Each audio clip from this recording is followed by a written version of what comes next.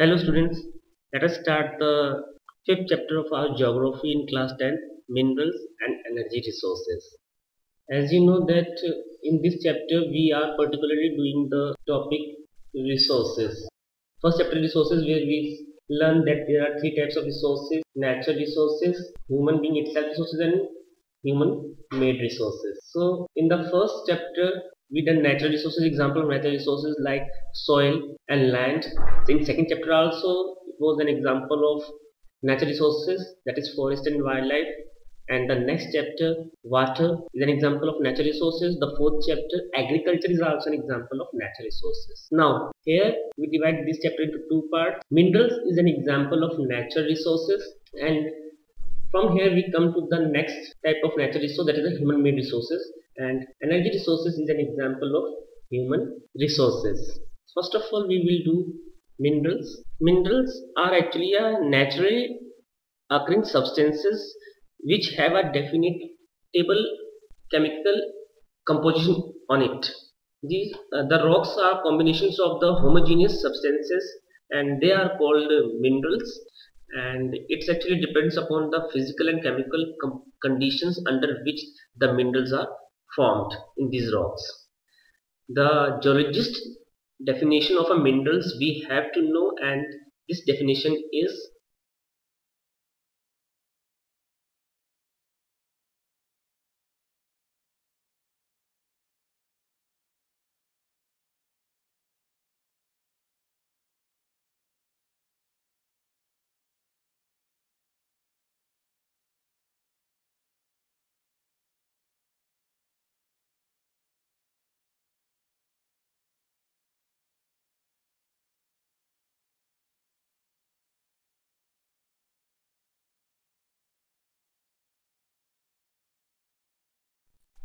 This is the definition of minerals means a homogeneous naturally occurring substances with a defini definable internal structure and chemical composition. And this is what we have to write in exam if the questions come that write down the definition of minerals. This is how these definitions tell us that the naturally occurring substances which are found in the rocks they have a definite chemical composition in it. And we give them name according to that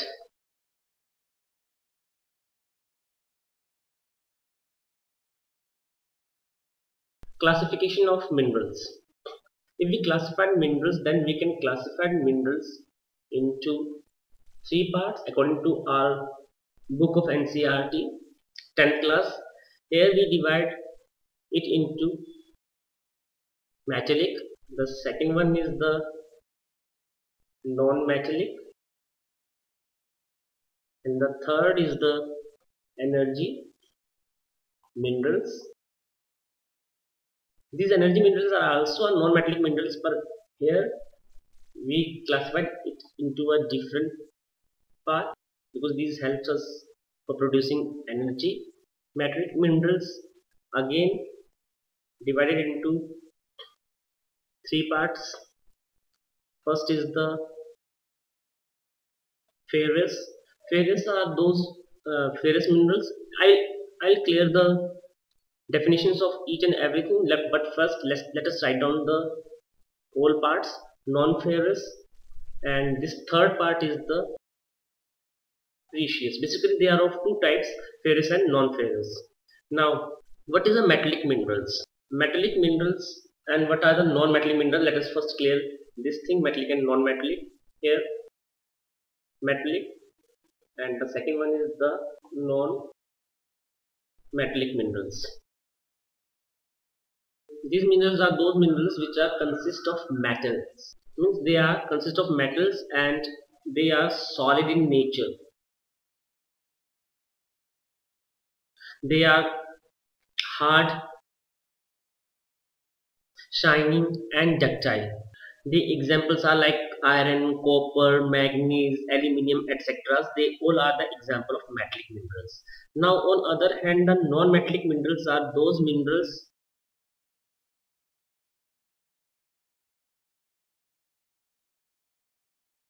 which does not consist any matter. And uh, they are not sure that they are solid or liquid. It can be semi-solid liquid or even in the gaseous form. The examples are like coal petroleum natural gas etc they all are the example of non-metallic minerals as you can see here that again I divide metallic minerals into two parts the ferrous and the non-ferrous basically and the third also precious.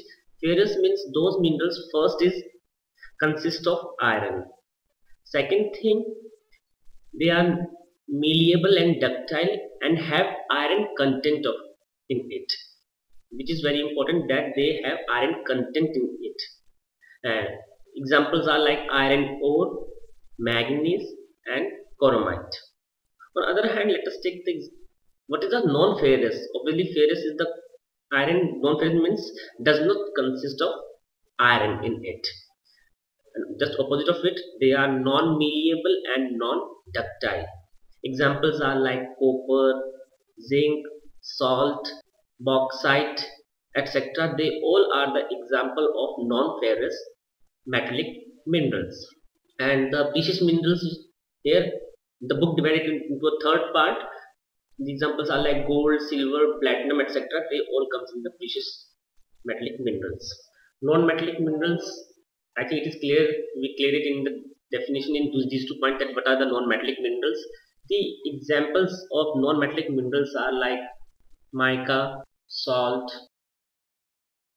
potash sulfur granite limestone marble sandstone etc are the example of non-metallic minerals. So this is how we classified the minerals on the basis of metallic and non-metallic. And in our book the third part is also given which is the energy minerals. Here energy minerals are those minerals which gives us energy. We classified it into three parts solid liquid and gas. The solid one is coal liquid petroleum and the gases is natural gas. They are the example of energy minerals. They are non-metallic minerals. They will be classified into energy minerals because they gives us energy and we produce energy from these all three minerals. This is how we clear the classification of minerals. We will do minerals in our second part of this chapter. In the last we will do just that. In our country India fairly rich in minerals. Not only fairly rich in minerals and we have a variety of minerals in our country. But before that let us do the importance of minerals. If we see the importance of minerals in for a country then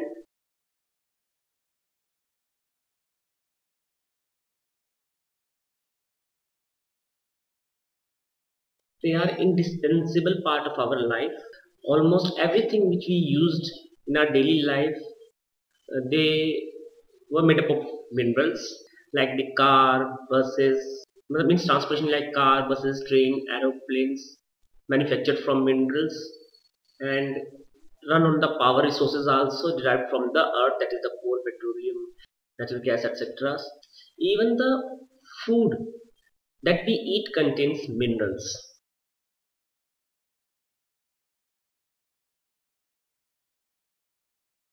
In the all stages of development, human beings have used minerals for their livelihood, decoration, festivals, religious and ceremonial rites, etc.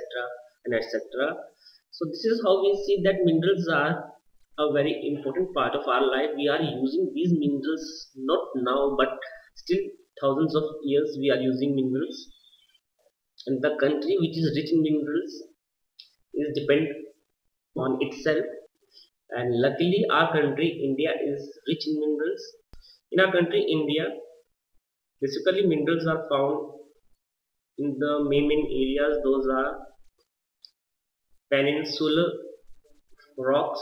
As we know that rocks contains most minerals. So here the peninsular rocks contain most of the reserves of the coal, metallic minerals, mica and many other non-metallic minerals we found in the peninsula India.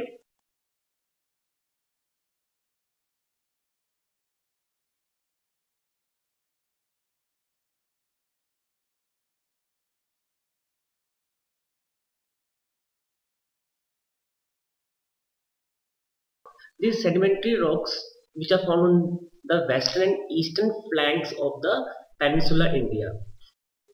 Means in these parts here and on other hand this part. So and Chotanagpur area also covered this. Especially in Gujarat and Assam have the most of the petroleum deposits are found in these sedimentary rocks. Rajasthan which is a fossil of Tethys Sea with the rock system of the peninsula has reserve of many non-ferrous minerals are found here and still uh, recently we get a lot of reserves of the petroleum and natural gas also in Rajasthan.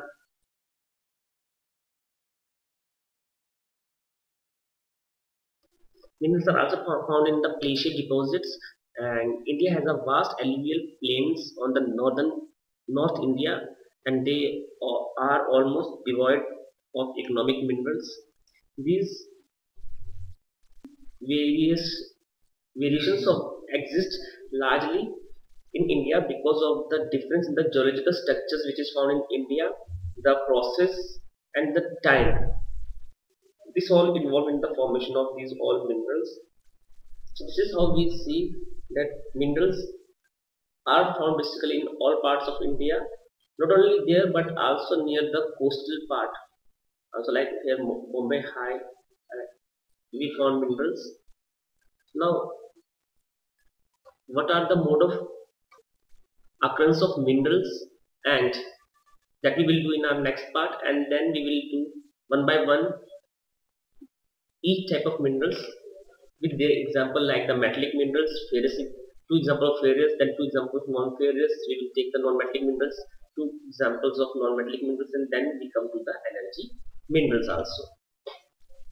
That's all in this part of the chapter. Any kind of problem and doubt you face you can send your comment to me. I will definitely reply you. Or you can visit my blog which is bipindogra.blogspot.in thank you student